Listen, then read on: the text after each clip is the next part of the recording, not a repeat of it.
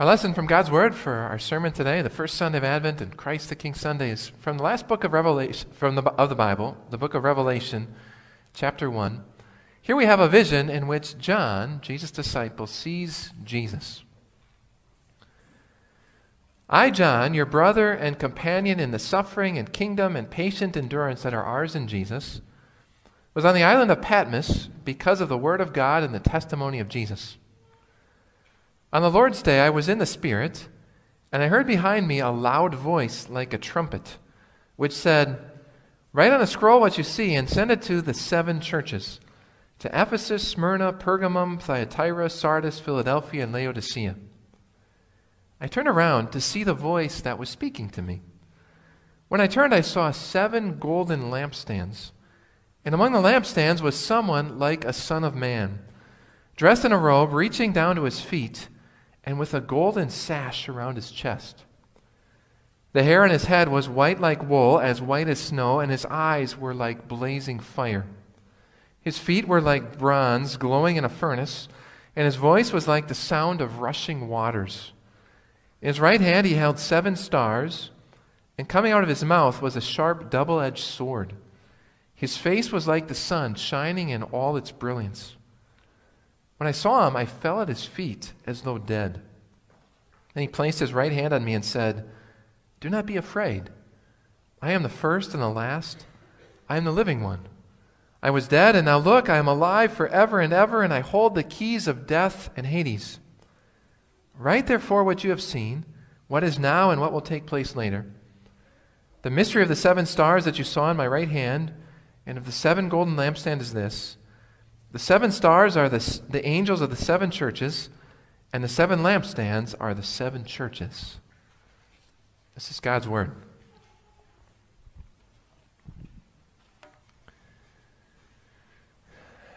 Dear friends in Jesus, it's official. We can finally start thinking about Christmas. As if there weren't enough things dividing people these days. I've noticed the last few years that another division on that list. And it's a division between when people think we should start thinking about Christmas. Have you noticed that too? On the one side, there's the people that, that think once we get past Labor Day, right, it's Christmas time.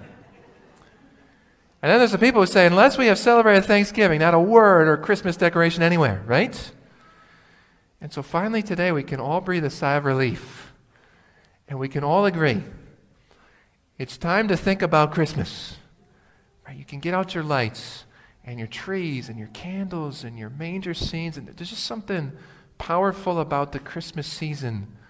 A baby was born to save us. Who doesn't like that? Right? Who doesn't get excited about that?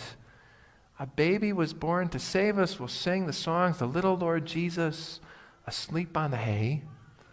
Finally, start talking about Christmas. But as we do that, I want you to notice something. I want you to notice how we Christians often talk like Jesus is, is still a baby, and not in a good way.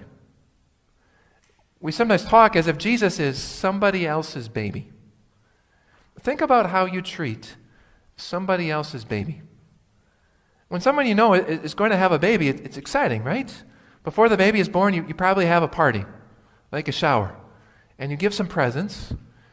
And then when the, when the baby's born, you make a point to go and see the baby at least once. You want to hold her, you want to smile at her.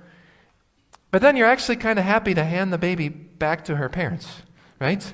Because you don't have to change her diaper, you don't have to get up in the middle of the night, you don't have to feed her. And we all like babies, but isn't that kind of how we, we treat babies? You get excited when they're coming. You make sure you hold them at least once, and you hand them back to their parents, and you think, maybe I'll see them on their birthday. Maybe. Maybe next year for their birthday. That's how you treat somebody else's baby. Does that sound familiar? Isn't that often how we, we treat Jesus? In the time leading up to Jesus' birth, there's this excitement, right? We have parties, we exchange gifts. When Jesus is actually born, people make a point to go to church, right? On Christmas Eve, maybe. Everybody gets a little excited about a baby being born. This is kind of a neat thing. But then we, we put him away. Because it's not really our baby, right? He's somebody else's baby. Maybe we'll think about him again next year. Maybe we'll celebrate his birth again next year. Maybe. That sound like how we Christians in America think about Jesus? It's nice to think about a baby. That's okay to spend some time focusing on him. But we like the ability to just put him away. Right? Maybe next year. We'll celebrate his birthday again. But you're thinking, that's not me. I'm here today, Pastor. I'm even here on the Sunday after Thanksgiving. I mean, who goes to church on the Sunday after Thanksgiving? That's good. I'm glad you're here today. It's not even Christmas Eve. I'm glad that your faith in Jesus isn't just for a couple days of the year. It's a blessing. But there's another way that we can treat Jesus like a baby.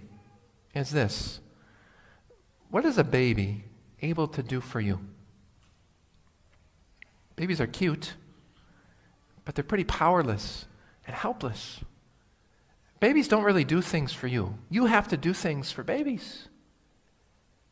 Wonder if that's a way that we still treat Jesus like a baby. Here's some signs that you might be treating Jesus like a baby in your life. I talked with a woman lately who said to me, Pastor, with, with all of the chaos going on in the world, I want you to know that I'm not worried. I'm going to be okay. And I said, That's great. Jesus, he brings us peace, doesn't he? And she said, Well, actually, I have a lot of money saved up, and I have my house all paid off. And so I know that no matter what happens, I'm going to be okay. Do you ever find your security in your money?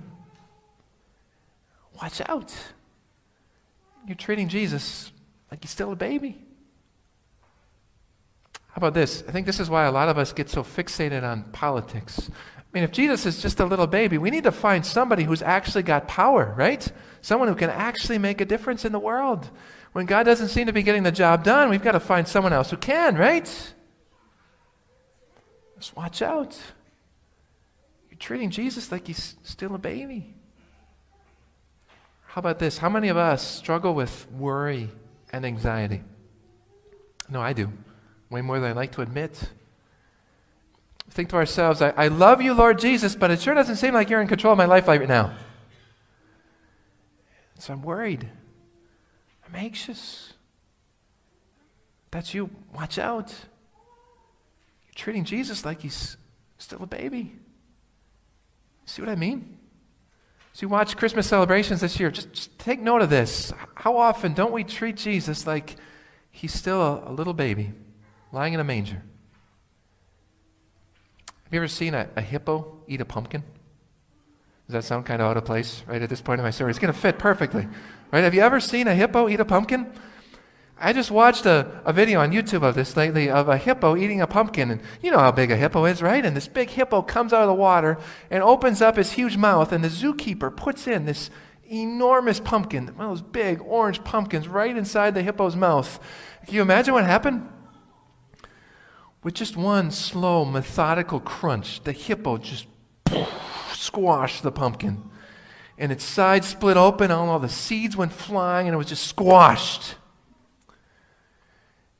That is what the book of Revelation does to any notion in our minds that Jesus is still a baby. It absolutely squashes it like a hippo squashing a pumpkin the book of Revelation, Jesus is talking with his disciple John.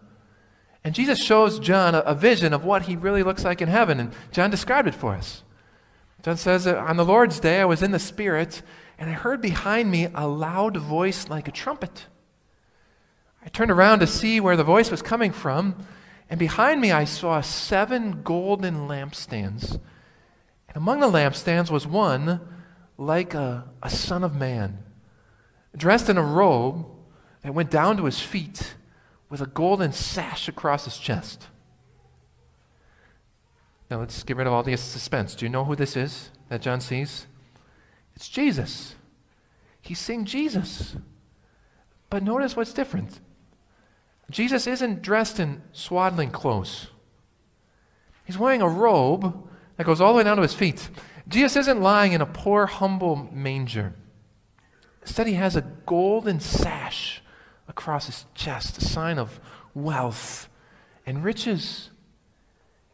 In the Christmas song, we, we say, No crying he makes, right? The little Lord Jesus. And we don't know if Jesus actually didn't cry or not, but Jesus in the book of Revelation not only is he making a sound, but it says he has a sound like a loud trumpet. And can you see how the Bible wants to completely change this picture of Jesus that you have in his head?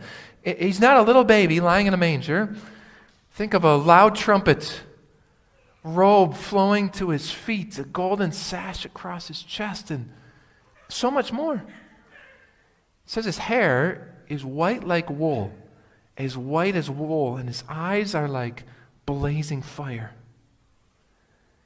He just doesn't have the little peach fuzz that a baby has on his head. He's got this flowing hair that's white like snow. And, you know, today we don't really always think of white hair as the best thing in the world, right? But in the Bible days, if someone had white hair, it was a sign of wisdom and power and authority. And Jesus, his hair is as white as snow, and his eyes are like blazing fire. Maybe you think of how your headlights pick up the eyes of a raccoon or an opossum in the middle of the night and they glow. It's Jesus. It says his, his voice is like rushing waters, and his feet are like bronze glowing in a furnace. Can you imagine all this? On the front of your worship folder, there's a, a, picture of Jesus. It's some artist's attempt to, to draw Jesus as Revelation shows him. And when you look at it, you'll realize it's, it's missing so many things. How can you put it all in there? How do you draw a voice like rushing waters? I bet when John heard that voice, chills went down his back. Imagine that? The voice of God like rushing waters, eyes like blazing fire hair as white as snow, feet like bronze glowing in a furnace, voice like rushing waters. In Jesus' hand, he, he holds seven stars. And out of his mouth comes a sharp, double edged sword, and his face shines like the sun in all of its brilliance. And Jesus holds stars in his hands. Do you know how big stars are? To Jesus, they're just like little pieces of popcorn in his hand. That's how big, powerful Jesus is. Out of his mouth comes a sword, and of course, it makes us think of the Word of God. The Word of God is the power to kill and to make alive. Wow, this is, this is Jesus. It says his face shines like the sun. Do you spend much time looking at the sun? You shouldn't, right? We can't. It's too bright. It's too powerful. That's what Jesus' face looks like. Just like a pumpkin, a pumpkin. Just like a hippo smashes a pumpkin, so the Bible smashes this picture we have of just little Lord Jesus. Jesus Christ the King. When the Apostle Paul, John saw Jesus in all of his glory, he said, Look at the cute little baby. No. No, he said, Oh, look at that nice little guy. Now, did you hear what John did? He said, I fell on the ground as though dead. When John saw Jesus as he really is, he fell down on the ground like he was dead. This is what sinners do in the presence of our, our holy, perfect God. Remember, this is the, the disciple John saying this. John had seen all sorts of Jesus' miracles. He saw Jesus change water into wine and, and walk on water and feed 5,000 people. He saw Jesus drive demons out of people and rise from the dead. And yet, not even John, the disciple, was prepared to see Jesus in all of his glory. Jesus as Christ the King. Think of what this means for you and me. You can't just push Jesus off into a corner of your life and think about him when you want to think about him. It doesn't work. You can't just celebrate Jesus once a year at the time of his birth. It doesn't work. One day, you and I are going to see Jesus face to face, and, and he's not going to look like a little baby. He's going to have eyes like blazing fire. He's going to have a voice like rushing waters, a face that shines like the sun. We hear Jesus described, Christ the King, it's a, it's a call to repentance. The Bible says that one day every knee will bow to Jesus. That will either happen in our lives on earth by faith, or it will happen on Judgment Day when every single person with fear and trembling is forced to recognize Jesus as Christ the King. When we see how Jesus really looks, it's a call for us to repent. Have you been worshiping Jesus as your King? Do you obey what Jesus says? Do you put Jesus' word and Jesus' will and Jesus' plan above everything else in your life? If not, today's a call to, to repent. But remember, there was another way to look at Jesus just like a little baby. One way is to ignore him, to push him off, but the other way is, is to live with doubt and anxiety. If that's you and me today, then this lesson is a call for us to repent too. If you say that you believe that Jesus is your Savior, if you say that you believe that Jesus died and rose for you, if you say that you believe that Jesus has given you eternal life, if you say that you believe that Jesus controls everything that happens in the world, how can you and I be worried? How can we be anxious? How, when those fears come into our hearts, it's time to repent and look to Christ the King. I wish I could have known what was going through John's mind as he fell to the ground as though dead. I bet there was a part of him that was saying, Jesus, I am so sinful. Forgive me. I bet there was also a part of him that said, Jesus, how could I have ever doubted you? Forgive me. You know what Jesus said to John? He said, Do not be afraid. I am the first and the last. I am the living one. Those beautiful words? Do not be afraid.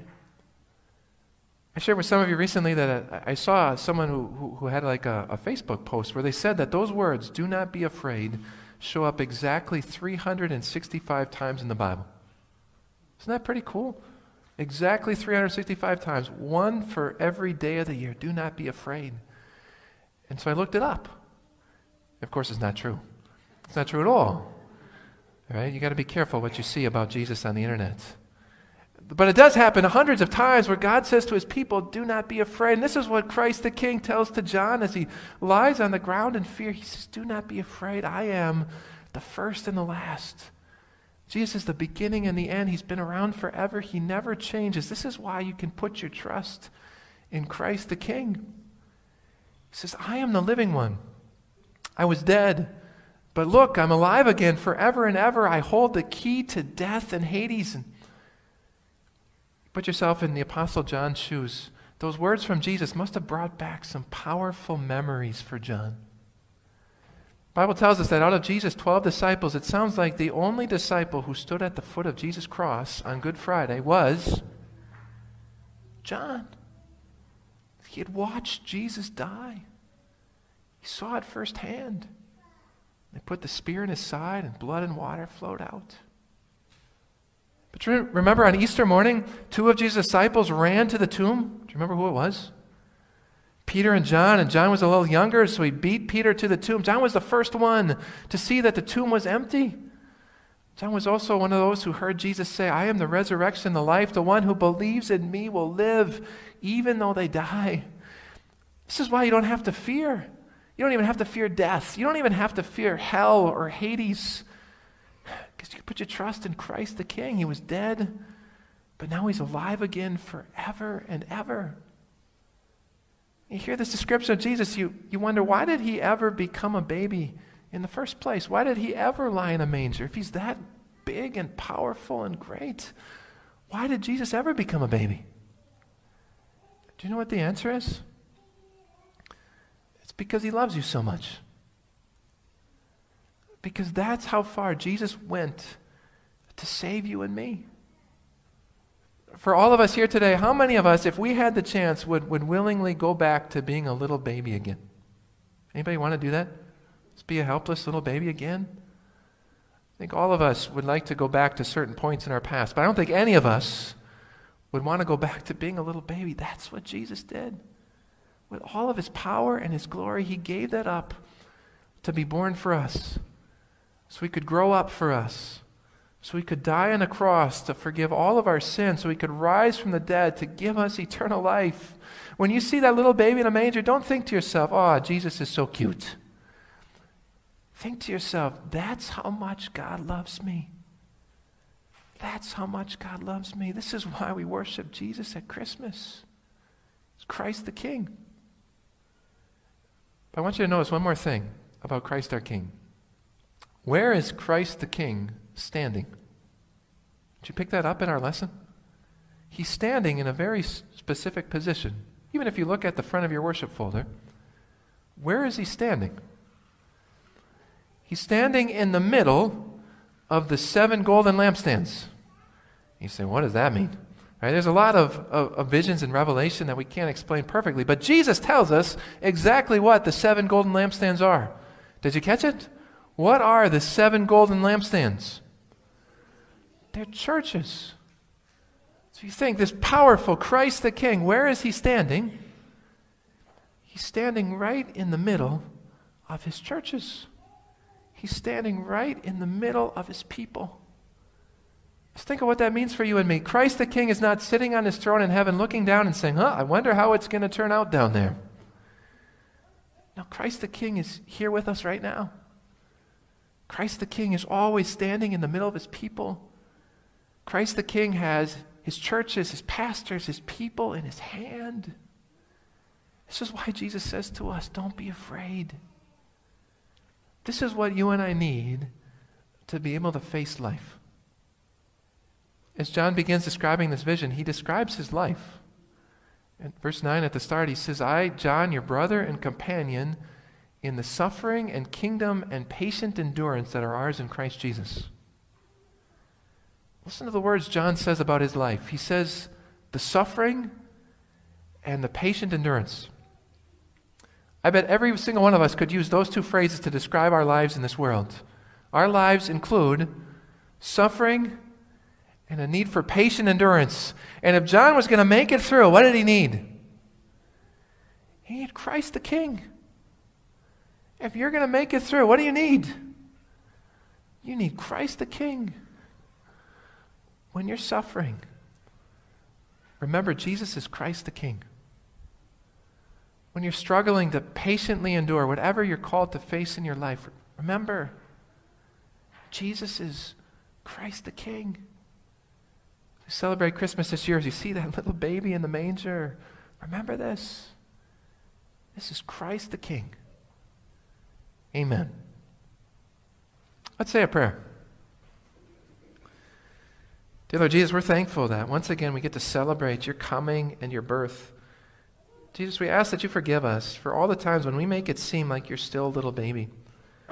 We act that way when we push you off into a corner of our lives, like we can think about you when we want to. We also act that way when we get worried and anxious about so many things. We act as if you have no power or control over our world. Jesus, we're thankful for this vision that you gave to John and through John to us. This vision in which we don't see you helpless and lying in a manger we see you with power and glory as the King of kings and Lord of lords. Jesus, it's amazing to think that you gave all that up to save us. It's also amazing to think that you use all of that power and glory for our good as you walk among us, your people. During this Christmas season, help us to remember who you truly are. You are Christ the King. To you be the glory. In your name we pray. Amen.